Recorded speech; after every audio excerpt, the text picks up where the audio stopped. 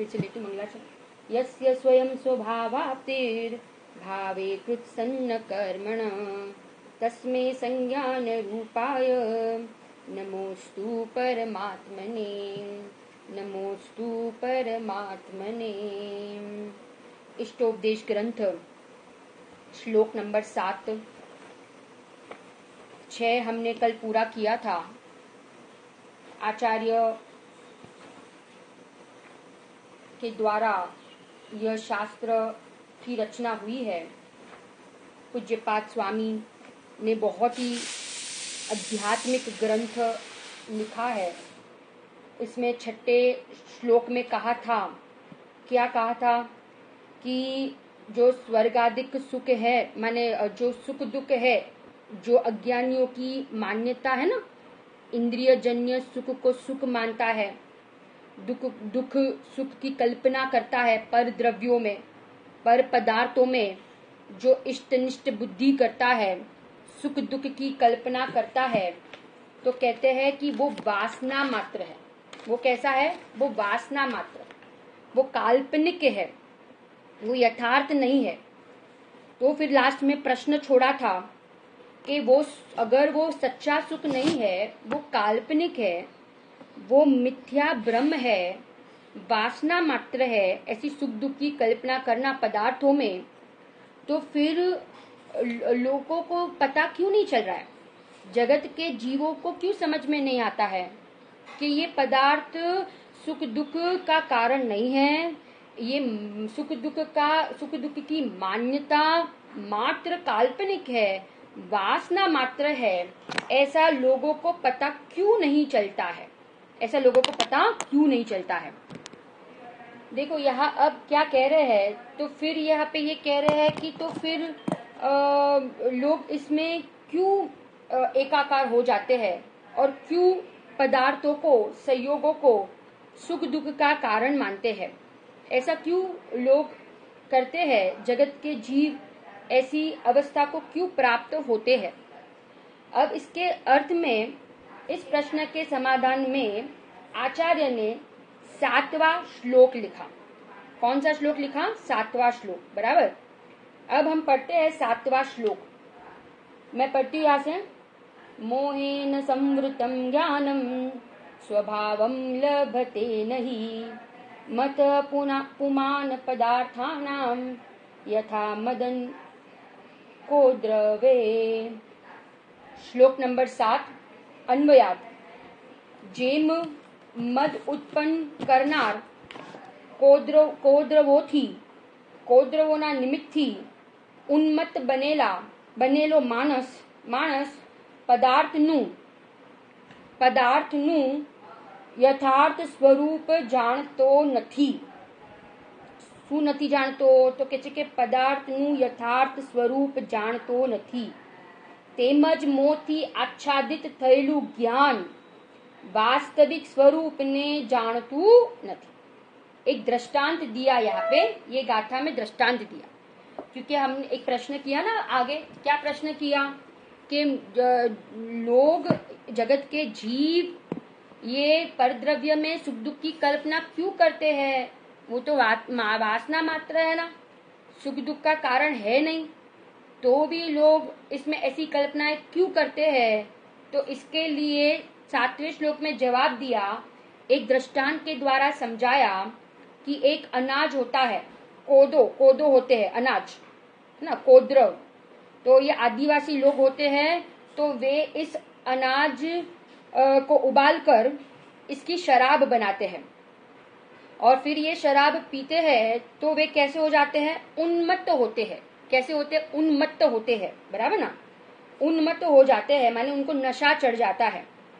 तो यहाँ कह रहे हैं कि ऐसे ही, अब ये तो दृष्टांत दिया, ऐसे ही मोह कर्म से आच्छादित, मोह कर्म से आच्छादित थैलु ज्ञान, माने मिथ्यात्व के कारण, मिथ्यात्व के कारण से यह जीव जैसा वस्तु का स्वरूप है, जैसा वस्तु का वास्तविक स्वरूप है, उसको जानता नहीं है। जैसा वस्तु का क्या है तो कहते कि वास्तविक स्वरूप है, उसको क्या नहीं तो उसके कहते उसको जानता नहीं है। माने ये मोह दो प्रकार के कर्म है ना, दर्शन मोनी और चारित्र मोनी। यह चारित्र मोनी की बात नहीं है यह दर्शन मोनी की बात है, क्योंकि ये अज्ञानी की बात है। अज्ञानी ये कर्म के उदय में जुड़ता है मोह कर्म का उदय आता है तो अपना जो स्वरूप है, उसको भूल जाता है। उसका, उसको भूला बैठा है। और जो मेरा स्वरूप नहीं है, वास्तविक स्वरूप नहीं है, शरीर, परद्रव्य, स्त्री गौर कुटुंब, परिवार रागादि परिणाम, इन सबको अपना मान के बैठ गया है। उदाहरण किसका दिया? कोदो का। कोदो का दिया ना? नशीली वस्तु को ग्रहण करता है, नशीली वस्तु को ग्रहण करता है तो उन्मत्त तो हो जाता है। ऐसे मिथ्यात्व के वश होकर जीव अनादि काल से मोह रूपी मदिरा पान करके उन्मत्त हुआ फिरता है। माने अपने आप को ही भूल गया। भूल आप को भरमतवाद। आता छह डाला में आया है, भूल आप को भरमतवाद। माने अच्छा आच्छाद, मोती आच्छादित थैलू ज्ञान। माने ज्ञान भी विपरीत परिणम रहा है। ज्ञान कैसा परिणम रहा है? विपरीत परिणम परिणम रहा है है ना? क्योंकि क्योंकि मिथ्यात्व के वश होकर अपने स्वरूप को यह जीव भूल गया है इंद्रिय सुख में ही सुख मान के बैठ गया है इन विषयों को ही सुख मानता है इन विषयों में ही सुख मानता है टीका न ही એટલે ખરેખર પ્રાપ્ત કરતું જાણતું નથી ધાતુઓના અનેક અર્થ હોવાથી શબ્દ મેળવવાના અર્થમાં અને જ્ઞાનના અર્થમાં પણ વપરાય છે. જેમ કે લોક કહે છે, મેં તેનું મન મેળવ્યું, જાણ્યું. કોણે તે જાણતું નથી? જ્ઞાન કરતા અર્થાત ધર્મ અને ધર્મીના કથનચિત તાદાત્મ્યપણાને લીધે અર્થને ગ્રહણ કરવાના, જાણવાના વ્યાપારમાં પરિણમિત, પરિણત આત્મા. શું કે છે અહીંયા? જો અહીંયા શું કીધું? પહેલા તો અહીંયા કીધું ને કે જે લભ શબ્દ મેળવવાના અર્થમાં અર્થાત અને જ્ઞાનના અર્થમાં પણ વપરાય છે. જેમ કે લોક કહે છે, મેં તેનું મન મેળવ્યું જાણ્યું. કોણે તે જાણતું નથી? જ્ઞાન કરતા, અર્થાત ધર્મ અને ધર્મીના કથનચિત, તાદાત્મ્યપણાને લીધે અર્થને ગ્રહણ કરવામાં, જાણવામાં, વ્યાપારમાં પરિણત આત્મા. अभी आगे देखेंगे ना, उसका पूरा वो समझाएँगे। देखो क्या कहते हैं। कौन है जानतु नहीं एक ज्ञान किसको नहीं जानता है? पहले तो ये समझाया कि ये शब्द किसके प्रयोग में वापरने में आया है। परंतु अब देखो, अब ये समझाएँगे कि श्लोक का अर्थ। कौन है ते ज्ञान जानतु नहीं धर्मी और धर्म, जो है ना, धर्मी और धर्म के बीच में कथनचित तादात में पना है। ऊपर का ना, कथनचित तादात में पना है क्यों। क्योंकि कथनचित तादात में पना है क्यों क्योंकि जो ज्ञान है ना ज्ञान तो ज्ञान तो अंश है और धर्मी जो है ना वो अंशी है ज्ञान अंश है और धर्मी अंशी है કોને જાણતું નથી સ્વભાવને લેતી આગે કોને જાણતું નથી સ્વભાવને કોને જાણતું નથી સ્વભાવને સ્વ એટલે અસાધારણ પરસ્પર ભિન્ન હોવા હોવા છતાં સ્વભાવને સ્વ એટલે અસાધારણ પરસ્પર ભિન્ન હોવા છતાં એકઠા મેળેલ મળેલા પદાર્થમાંથી ખાસ પદાર્થને અન્ય પદાર્થથી વ્યાવ્રત ભિન્ન બતાવવામાં કારણભૂત ભાવ તે ધર્મ તે स्वभाव છે या स्वभाव स्वभाव समझाया जो ज्ञान है ना ज्ञान वो मेरा असाधारण स्वभाव है पहले ऊपर धर्मी और धर्म को समझाया कि उनके बीच में कथन कथनचित तादात में पना है क्योंकि जो धर्म है ज्ञान है वो अंश है और जो धर्मी है ना वो अंशी है धर्मी क्या है अंशी है अब कहते हैं कि स्व એટલે असाधारण स्वभाव मेरा जो ज्ञान है असाधारण स्वभाव है और वो वो लक्षण है और उस लक्षण से क्या होता है कि मेरा आत्मा अन्य पदार्थों से मैं उसको भिन्न कर सकता हूँ उसी को लक्षण कहते हैं लक्षण उसी को कहते हैं कि मिली जुली वस्तु में से मिली जुली वस्तु में से वो लक्ष्य को अन्य वस्तु में से उसको अलग करे उसे लक्षण कहते हैं तो ये पहले जो दूसरे पैराग्राफ में यहाँ पे लक्षण की परिभाषा समझाई स्वभाव को बताया अब आगे कहते બે અથવા બે થી અધિક મળેલા પદાર્થો માંથી કોઈ ખાસ પદાર્થ ને અન્ય પદાર્થોથી ભિન્ન બતાવનાર અસાધારણ ભાવ ધર્મ તેને તે પદાર્થોનો સ્વભાવ કહે છે. કોને સ્વભાવ, કોના સ્વભાવને? સુખ, દુઃખ, શરીર આદિ પદાર્થોના સ્વભાવને. તે જ્ઞાન કેવું છે? ઢંકાયેલું, આચ્છાદિત થયેલું છે. અર્થાત, વસ્તુના યથાર્થ સ્વરૂપના પ્રકાશમાં જેનું સામર્થ અભિભૂત થયું છે. અભિભૂત એટલે ઢંકાઈ ગયું છે, આચ્છાદિત થઈ ગયું છે. એ જ્ઞાન જે છે ને તે ज्ञान ढंकाई ज्ञान अपना है परंतु वो ज्ञान ढक गया है आच्छादित हो गया है स्वरूप को प्रकाशित नहीं कर रहा है जैसा आत्मा है उसको प्रकाशित नहीं कर रहा है इसलिए वो ज्ञान कैसा हो गया है तो वो ज्ञान ढक गया है समझ में आ रहा है और ये जो सुख दुख शरीर आदि पर द्रव्य है ना उसको अपना मानता है જે મારું નથી અને એને મારું માને છે જેનું સામર્થ અભિભૂત થયું છે જેનું સામર્થ્ય એ જ્ઞાનનું સામર્થ્ય ઢંકાઈ ગયું છે પરભાવ પામ્યું છે પરાભવ પામ્યું છે पराभव पराभव माने पर रूप से वो परिणम रहा है माने पर को अपना जान जानने रूप परिणम रहा है કોનાથી અભિભૂત થયું છે મોથી મોન્યથી જો અભી જોઈન્ટ हुए ना मेघा भाभी जो खुशबू बेन है ना तो मैं एक बार राजूल आंटी ये सब अभी ज्वाइन हुई देवेंद्र आंटी जोशना आंटी यहाँ पे एक कोदो का दृष्टांत दिया श्लोक नंबर सात में। कोदो का दृष्टांत दिया कि कोदो होते ना को, कोद्रव तो वो एक अनाज होता है। ये आदिवासी लोग उस अनाज को कोदो को उबालते हैं और उस उसमें से वे शराब बनाते हैं और जब वे पीते हैं तो उनको नशा चढ़ता है। ऐसे यहाँ ये ये श्लोक में सिद्धांत में ये समझाना है कि मोह कर्म के उदय में जीव मोह कर्म के उदय में जीव विपरीत परिणमता है। कैसा परिणमता है? मोह कर्म के उदय में जीव जो अपना नहीं है, उसे अपना मानता है। वास्तविक स्वरूप को नहीं जानता है और जो अपना नहीं है, उसको अपना मानता है। ये ये यहाँ पे समझाया। अब देखो, वो जो ज्ञान है ना, वो अभिभूत हुआ तो वो किसके कारण से अभिभूत हुआ?